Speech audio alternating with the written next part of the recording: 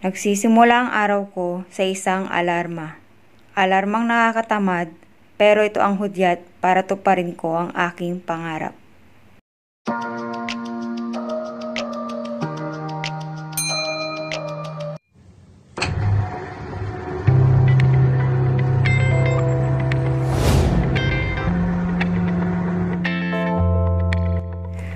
Madalas, gumigising ako before sunrise.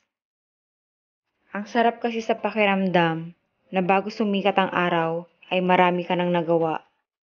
At bago magising ang alaga ko, naka-ready na lahat. Ang sarap sa pakiramdam kapag ka. At mas nagiging productive ako kasi marami akong naiisip na mas makabuluhang bagay kasi pag gumising tayo na mas maaga, mas fresh yung utak natin.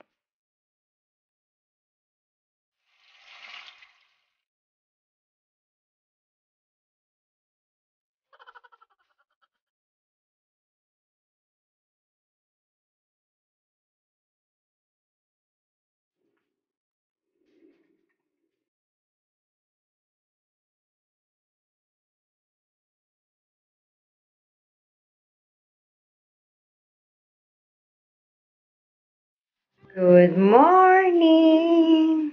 Tayo magkape.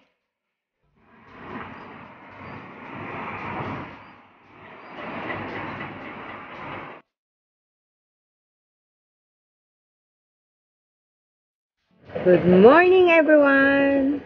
Welcome back to our channel.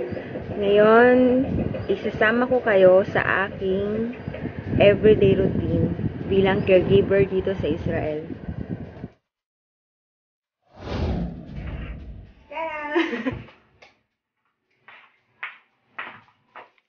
Itutur ko kayo.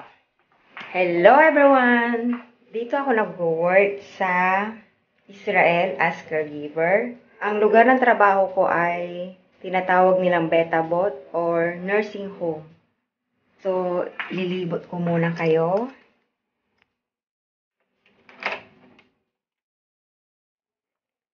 Yan, ganito po ang nursing home dito.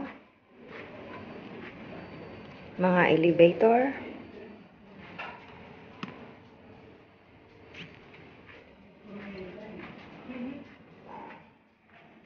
And kami po ay nasa 8th floor.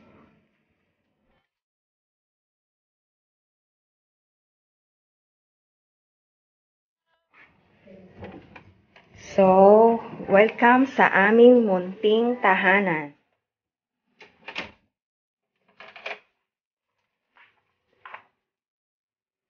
Ganito lang po ang itsura ng nursing home dito. Maliit lang siya. Yan, pagpasok, kusina agad. Then, ito yung CR. Ito yung CR ko. Tigi isa kami ng CR ng alaga ko. Then, malimit, dito kami kumakain, dalawa. Magkaharap kami. Dito ako nagluluto ng aking mga binablog. Then, ito ang favorite place ko pag ako'y nag-edit ng vlogs. Malimit dito ako kasi mas komportable pag dito ako nakaupo. And, excuse me po sa aking maleta dahil ilang araw na lang ako'y magbabakasyon ng Pilipinas! Yay! Yan po ang sala.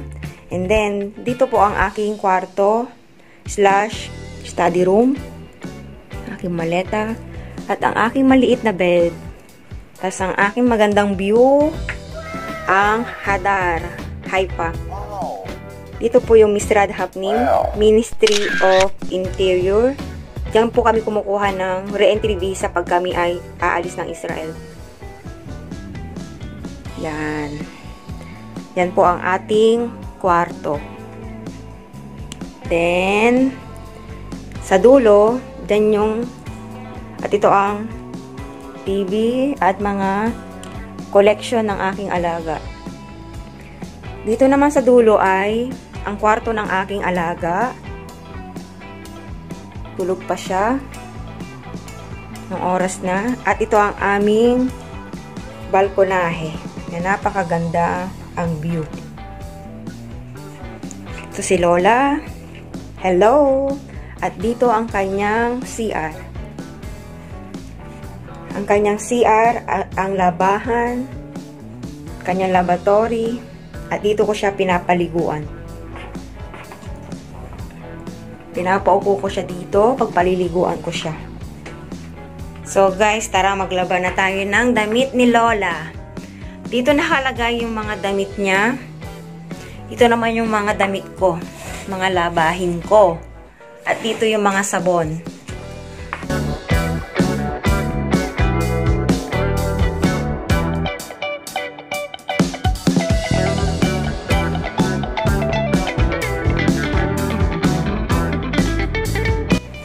lalagay natin sa delicates. Then, 1 hour. See you after 1 hour. A few inches later.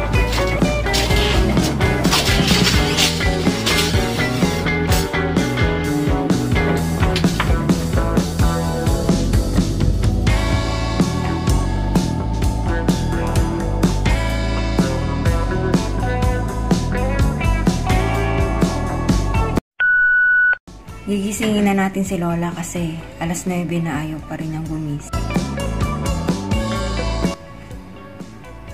Roberto! Mama ka! Gumagamit ako ng gloves para hindi siya masaktan. Gawa ng mahaba kasi ang mga kuko ko. Aid. Wala siyang hearing aid kaya hindi niya ako naririnig. Lalagyan ko siya ng hearing aid.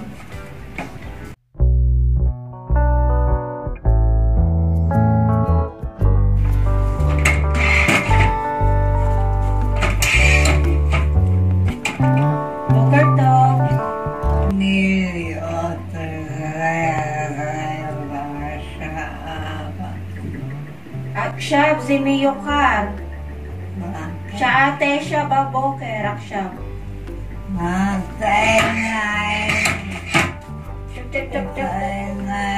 Panglinis sa mata. Dahil 99 years old na siya, masyado nang sensitive yung kanyang mata. Kaya kailangan special yung panglinis ng kanyang mata. Ganito yan. Tissue to. Tissue, wet tissue. Panglinis ng kanyang mata.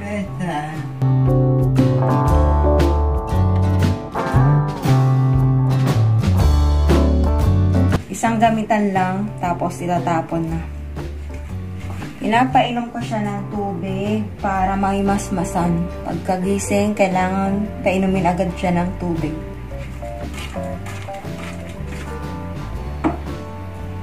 Boy, Raya! Naspik lisyon.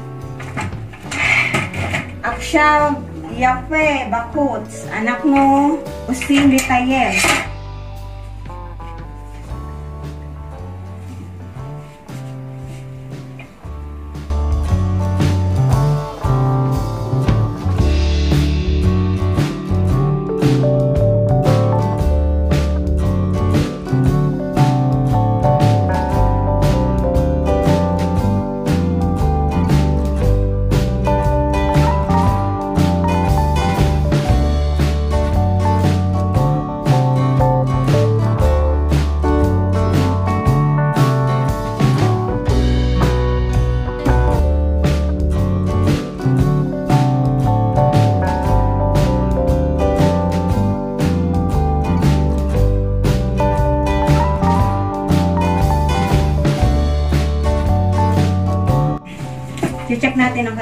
Blood sugar.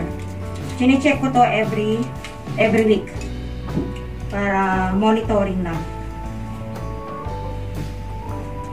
Wala nagsabing gawin ko to. Hindi sinabi ng doktor, hindi sinabi ng pamilya. Monitoring ko lang. Para pag masama yung pakiramdam niya, ngayon, check natin ang kanyang black blood sugar.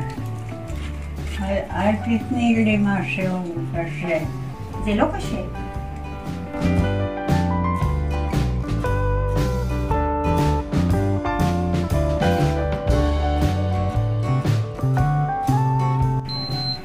zero gamarno. Wow, ezi maspik, ezi normalit. Asukan sila maya isirin bekamesh. Akshab, ani dok ita lakats dam.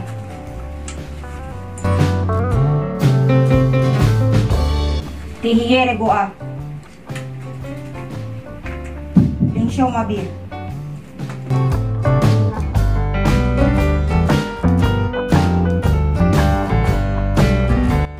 Tazrili Raya, anak ng ultim ba langit ba? Lo, Tazrili. Raya, eh. madrat sa listot, kafe, syoko, o te ang kalab. Syoko.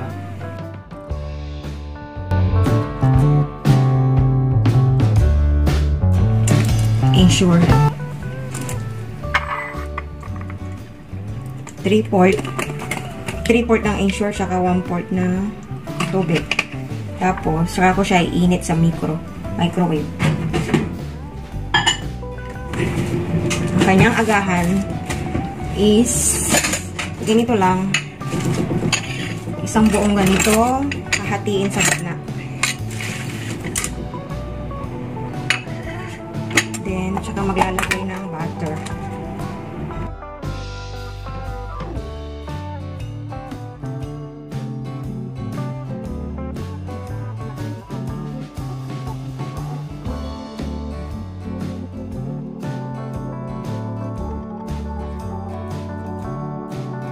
Kaya pa niyang kumain mag-isa.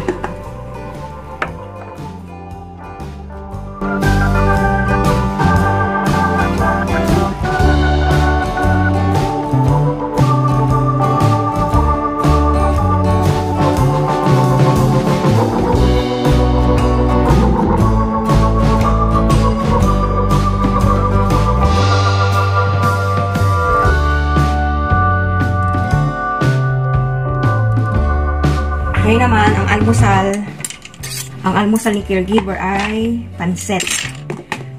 Shoutout nga pala kay Dobel na nagbigay ng pansit. May almusal ako ngayon.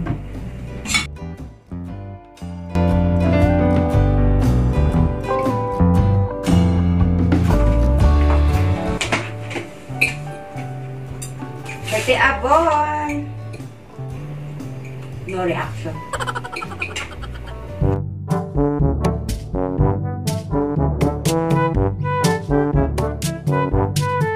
Pasalamat ako sa Diyos kasi matakaw pa rin siya hanggang ngayon. Thanks God. Pag ang alaga natin ay matakaw pa, ibig sabihin, magtatagal pa siya. Salamat naman.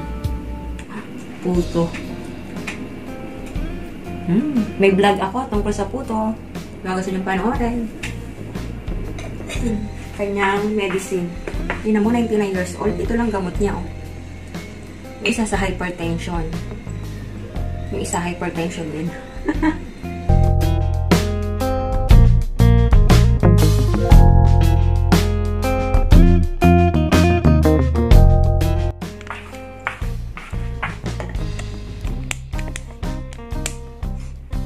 Ngayon, tapos na tayong kumain, maghugas ng plato. Ngayon naman, palilibuan natin si Lola.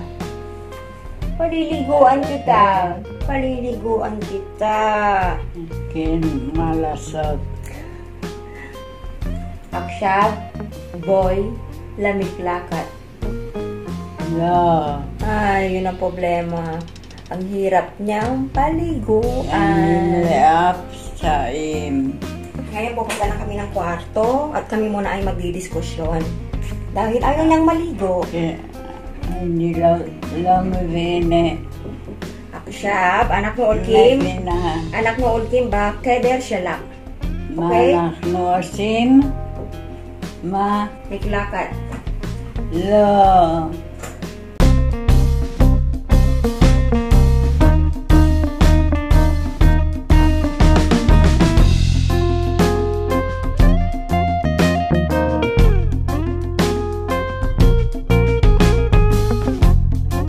Two thousand years later. So ngayon, tapos na siyang maligo. May make-upan naman natin. Remake upan naman natin si Lola dahil tayo ay lalabas.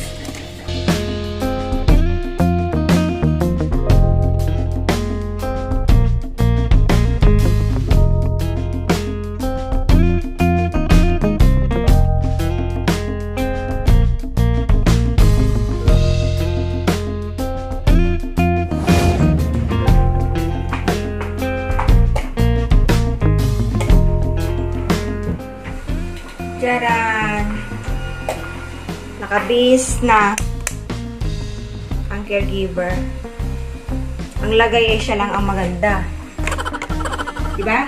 Lola? Hmm. Ah, correct. Ano daw nangyayari? As ngayon, tara na. Lalabas tayo. Dahil kami ay mamamasyal, magdadala ako ng pagkain ni Lola. At tubig, parang bata. Kasi magliligalig yan mamaya. Tsaka tissue.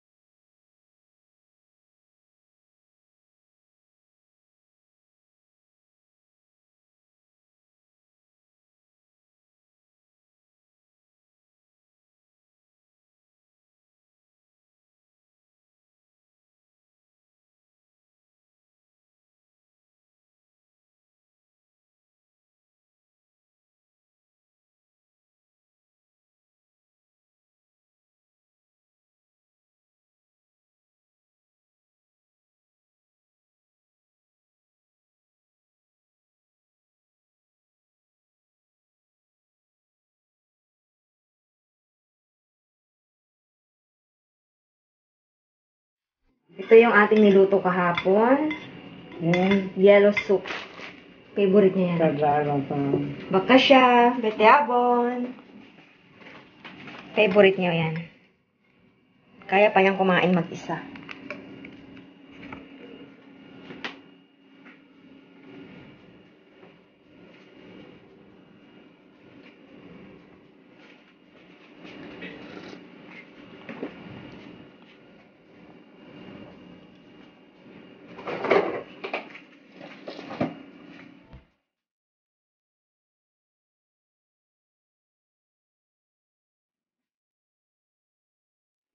By the way, ito po yung niluto natin kahapon na soup.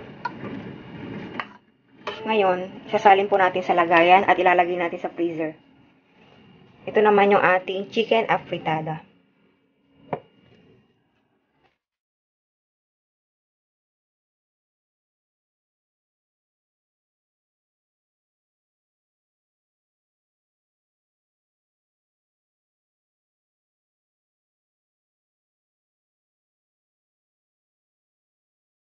So, ngayon, nakikita nyo naman, tapos na siya sa kanyang chicken soup, ay sa kanyang soup. Ngayon naman, ibibiro sa kanya ang main dish. Pa isa-isa ang bigay ko sa kanya ng kanyang pagkain kasi pag sinabay-sabay ko, hindi niya uubusin lahat.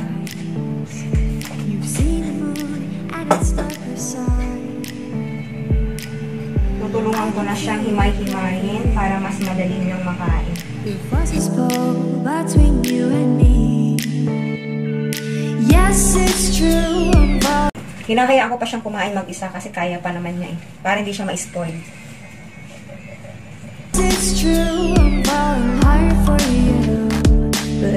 So, habang si Senyora ay kumakain, tayo naman ay maghuhugas ng kaldero.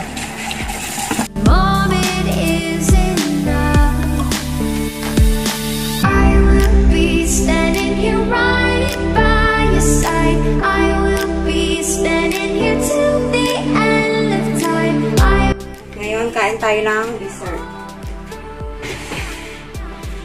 Mamaya na ako kakain.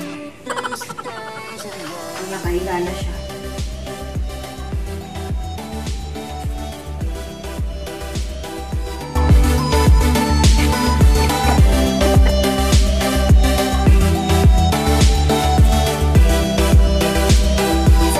After kong kumain ni Senyora, magpapahinga na po siya. Then, Ken daw. Oo daw. Ganun lang ang aming routine. Lagi akong gumagamit ng gloves, hindi dahil sa maarte ako, kundi dahil mahaba yung mga kuko ko. Ayoko siyang masaktan. Delikado. 99 years old. Mas, ma, ano na, masyado nang sensitive ang kanyang balot. Hmm, gigigil ako eh. Ngayon, para nakarin uli natin siya. Boy, boy.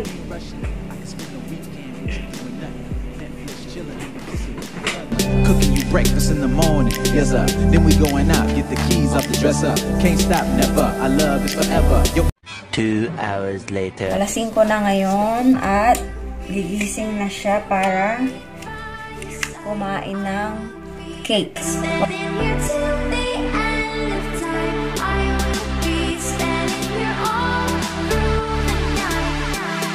Oladi, olada, la la la la la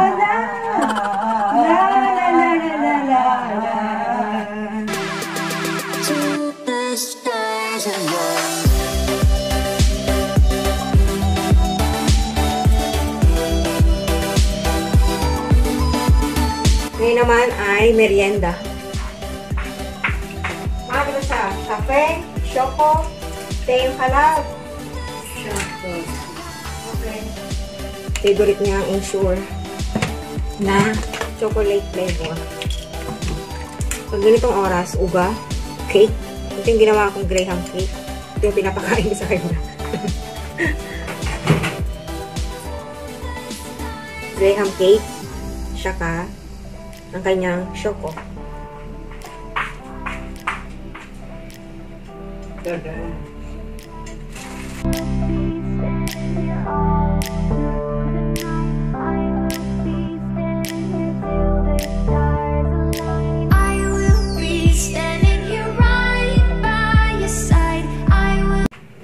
Hmm, kinamay na.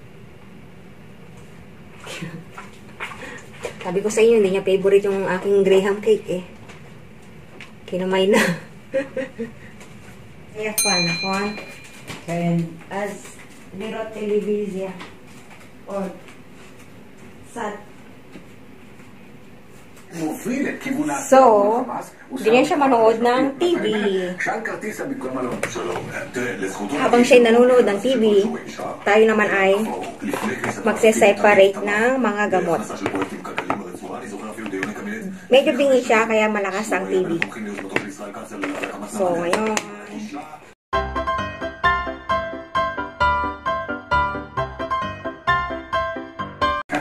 Ito yung kanyang morning. Morning. Morning. Kalahati at kalahati rin. Tapos, sa gabi, isa nito para sa sugar. At ito naman, papakalma niya. Papatulog.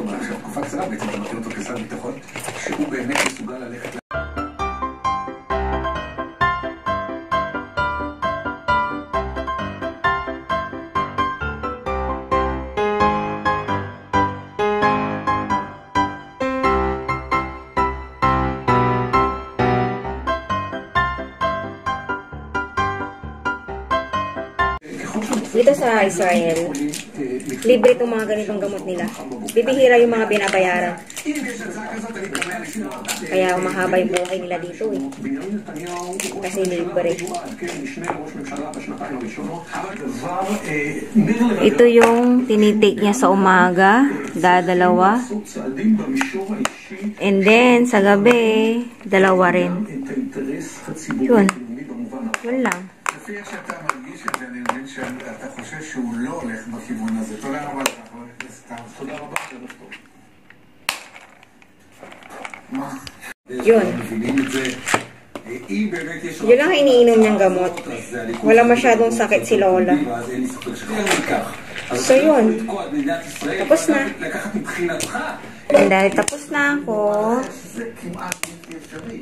gagawin ko na yung aking vlog. Magbablog na ako habang si Lola ay nanonood ng TV.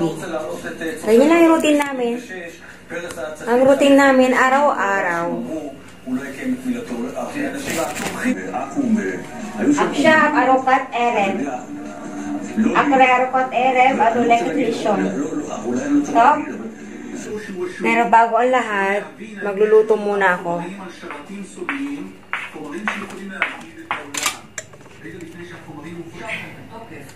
Gusto niya yung malasado.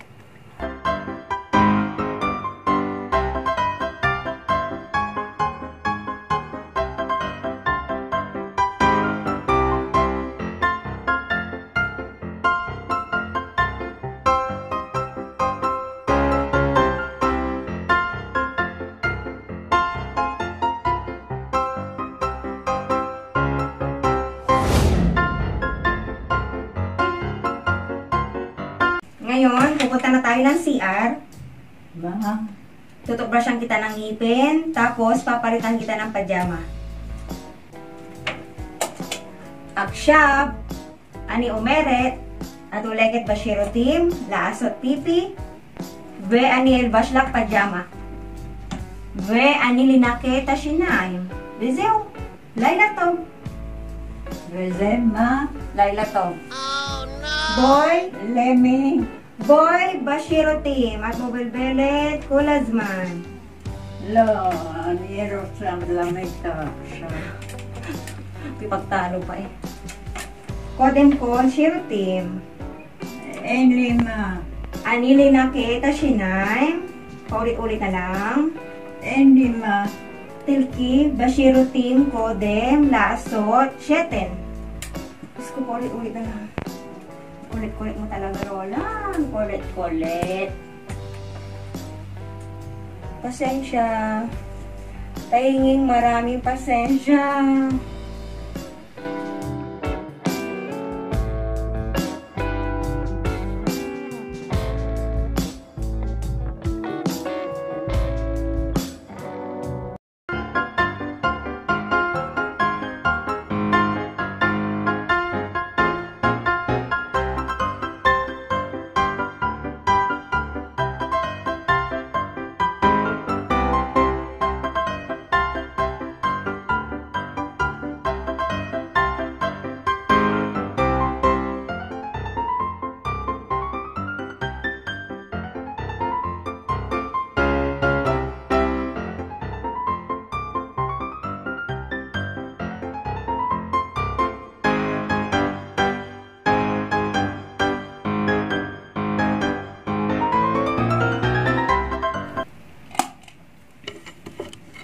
So, matutulog na po siya. At bilang tulog na po si Lola,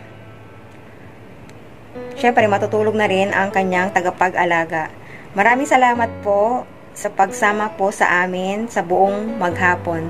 Halos araw-araw ganito po ang routine naming maglola. So, bilang caregiver, sa umpisa lang po mahirap kasi syempre kukuhanin mo pa ang loob ng matanda, tapos yung routine niya, syempre ikaw ang ikaw ang mag adjust sa kanyang ugali. Alangan naman yung amo natin na mag adjust para sa atin. Siyempre, ang mga matanda, matanda na yan para mag-adjust para sa atin. Kaya, siyempre, iba-iba yung ugali natin, iba-iba ugali ng mga matanda. Kaya sa una talaga, mahihirapan po tayo. Pero, I'm, proudly say, proud po akong sabihin sa inyo na sa una po talaga, mahirap po talaga ang ugali ng aking alaga nung bago-bago pa lang po ako sa kanya. Pero dahil matyaga po tayo at wala naman po tayong choice kundi magtyaga. So napagdaanan ko na po lahat, lahat po ng masasakit na salita. Nadaanan ko na po sa kanya. Pero pasalamat po tayo at tumagal po tayo sa ganitong trabaho at itong alaga ko pong ito ay napa nakakaiyak na. Marami na po kami pinagdaanan, ups and down. At masasabi kong mahal na mahal ko po itong alaga kong ito kasi dahil po sa kanya natutupad na po ang aking pangarap. Dahil po sa kanya kaya nabuo itong aming dream house. Makikita nyo po sa another vlog, vlogs ko po. Pwede nyo pong i-check. Dahil po sa kanya kaya ako po kaya po ako nakapagpagawa ng bahay. Kaya masyadong memorable itong alaga kong ito. So, salamat! So, dito po nagtatapos ang ating vlog. Salamat po. God bless us. Hanggang sa muli. Paalam. By the way, bago ko po tapusin tong video na ito, shout out po muna kay Charlene Cruz ng Korea, kay Christopher Duran, kay Milet Nicole Poblete. Salamat po sa inyo lahat. Till next time. God bless po.